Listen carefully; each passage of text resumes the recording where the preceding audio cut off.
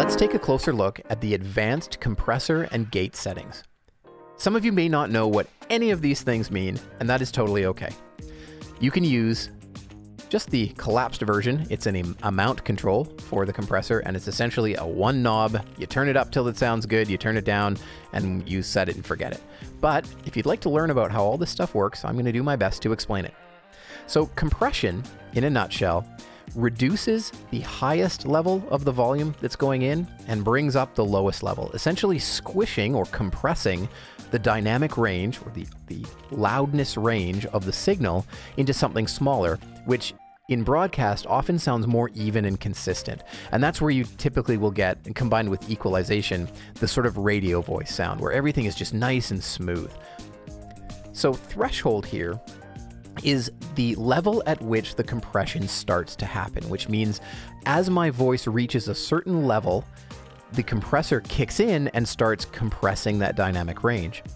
So I typically set this to somewhere in this range, minus 15, minus 20 dB. I actually like to lightly compress fairly often. Other people like to just heavily compress when it gets super loud, and that's more like what they would call a limiter, which is just it hits a wall and you don't want it to go any louder than that. But I like to have the compressor kick in somewhere in the middle of the levels that I'm using for my voice. So you can start with minus 15 and see how it goes from there. The ratio, which is right next to it, is how much do we reduce it for every amount that it goes over the threshold. So as I pass 15 decibels here, minus 15 dB, okay, for every decibel I go over that, it's going to reduce it by four. So that's a four to one. For something very subtle, you want like a 1.2, 1.6. I find four, uh, 2.5, 3.2. These ones in the middle sound quite nice and smooth, but essentially that's how the thing sort of arcs off the volume level as you go over the threshold. And the higher the ratio, obviously, if you're going up by one and over by eight or down by eight, uh, it's going to be a, a much more compressed sound. So these are the ones that sound a bit more natural in the middle. The attack here is how fast, so after I've gone over this threshold, how fast does the compressor start compressing? Generally, I set this quite fast. I say I want it to compress pretty much right away. If I've gotten too loud or anything, just bam, hit it and start compressing.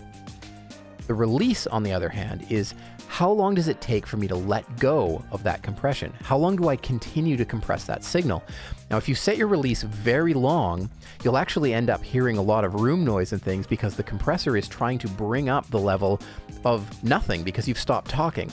So you don't want it to be too long, but you don't want it so short that it starts sounding kind of wavy, for lack of a better word. It would start sort of breathing and, and, and sounds a bit funny. So I find that I start around 100 milliseconds, and I might make my way up to somewhere in the 300s maybe. Um, I, but some, you know, anywhere over that, it's going to start getting a little bit long. The last control is makeup gain.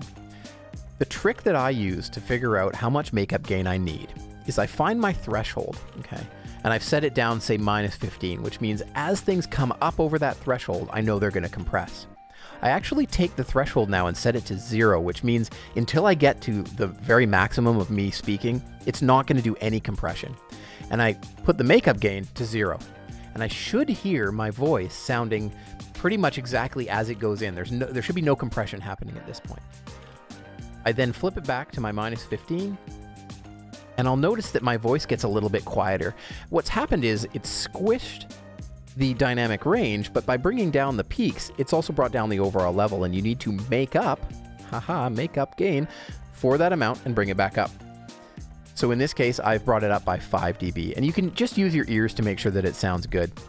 If you start getting into quite high levels of makeup gain, it's definitely an indicator that you may have to do your mic setup over again. So you go into system there, and you do your talking into the mic and you make sure that you're sitting in the good range here, um, it's, it's a good indicator that you may be in the low range if you're pumping up a bunch of makeup gain, or that you've done compressor settings that are super aggressive. Like if you've got your threshold really low, so you're compressing all the time, and you've got your ratio super high so that you're compressing the living heck out of everything, then you may need a lot of makeup gain. And that may be the sound that you're looking for, but generally people are looking for something that controls the dynamics without actually making it sound compressed. Let's move on to the gate. So the gate works in exactly the same way, except The gate is almost working backwards. The gate is allowing sound through when you're making noise, and then it's closing that gate down and making it so that there's no noise when you're not speaking. So the threshold is actually for when the gate opens. So similarly to, you know, when do I start compressing after what level? The gate threshold is when do I open up the gate and allow the audio through. The quieter your room, the lower this threshold can be. If you have high background noise, you're going to have to set a higher threshold, or in the case of I have a quite clicky mechanical keyboard, I have to set my threshold and be pretty tricky with it to knock out my keyboard sounds but still allow me to speak. So there's a balance there of kind of trying things and experimenting.